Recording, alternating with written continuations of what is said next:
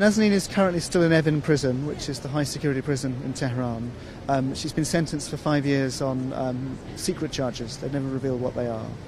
Um, currently, we're awaiting appeal. The appeal process, so we've filed for an appeal, which is where you take the papers in. They haven't read the appeal papers yet, so they were supposed to do it within a month, and, and it's now 40 days. So there's a stalling going on there. Um, yesterday, my father in law took my daughter, who's two, to the judge to try and say, listen, this is, there's, a, there's a little baby involved here. Can you not just, just you know, get on with it? And they weren't allowed through the door. Um, so there's a, a frustration waiting there. In terms of Nazanin's situation, she's currently kept in the very high security wing of Evin prison, um, which is, I don't think she's in solitary confinement, but she's with one other person, entirely controlled whenever she's allowed to speak to anyone or see anything. Um, and, and she's gone through different phases. So before she would have been quite angry. Um, at the moment, she's very, very flat, very low. Um, you know, and it sort of manifests itself in terms of sort of palpitations and, and pains, and, and, you know, her hands not working properly, her eyesight's going, and, and, and, all sorts of things that are just a consequence of, of, I mean, the physical conditions, but also the stress. And, and um, I think I think she was saying on the phone yesterday, she's you know wonders if she'll ever get out. Um, so she's got to a very low place. It's clearly a very political case. So they, they have taken her and they've made it clear that they're holding her uh, as a bargaining chip for, um, for a negotiation. They haven't clarified uh, to us what that would be or, or, what they want. But they've told her, listen, if, you know, if the British government makes an agreement, then we'll release her. It's as brazen as that.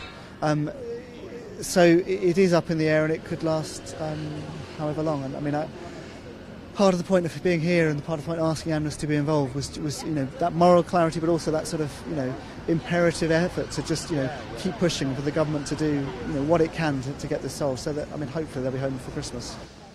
We're at a time where uh, the UK has uh, opened its embassy in Iran.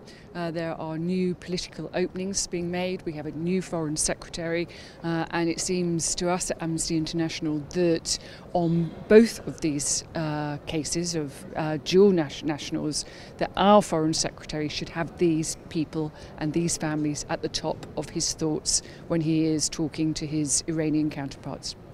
We're here um, opposite Downing Street um, protesting and reminding everyone about my uh, dad. He's 77 years old. Uh, today is his 2000th day in Evin prison, which is an extraordinary length of time, with no evidence or explanation ever provided by Iran. He's been due for early release under their normal rules for over two and a half years, and there's no explanation about what's going on. Um, he is ill, he's got cataracts and needs urgent operations on each eye, and unfortunately, been waiting two months now with no sign of those. They're very routine operations, and it's just not clear what's going on.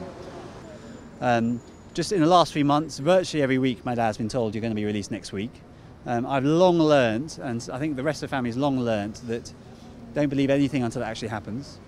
Uh, but uh, you know, it's a really very, very difficult waiting game for us, and a very dangerous waiting game as well. When you're that age and that ill, you know, thing, you know, uh, health can deteriorate very rapidly. And I think, uh, you know, it would really be a good sign of Islamic compassion and mercy for them just to release him. And the flip side is, if they don't, that he, he could really uh, health could really go downhill very quickly in Evin prison, and he has no family there. He's had no visitors for over five years, and that would be a real shame.